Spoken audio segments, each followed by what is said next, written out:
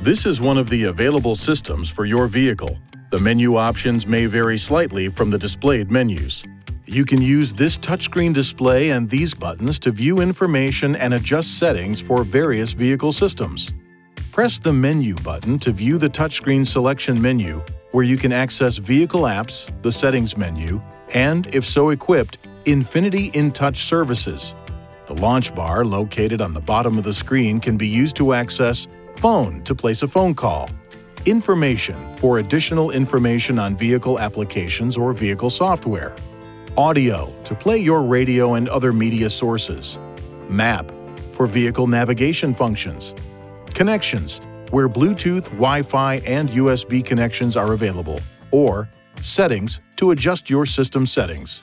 Touch an item in the launch bar to switch screens. Swipe the screen right or left or use these keys to view additional menu screens. These screens are customizable to include your preferred widgets and apps. The large icons are called widgets and include options such as audio information, SiriusXM weather, and clock display. The small icons are shortcuts which you can customize based on your most frequently used features. For example, you can create shortcuts for other menu screens like audio or phone, or you can create shortcuts for specific functions like call history or previous destinations.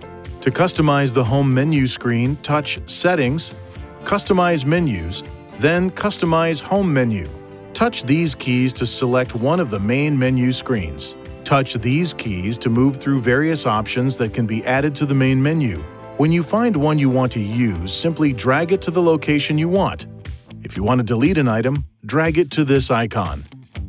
Touch Settings on the launch bar to customize additional settings. Touch the plus or minus keys to adjust the settings of an item. Touch these arrows to scroll up or down through a list of items. If a list extends past one page, you can also touch the screen in this area to scroll through the available items. To return to the previous screen, press the Back button.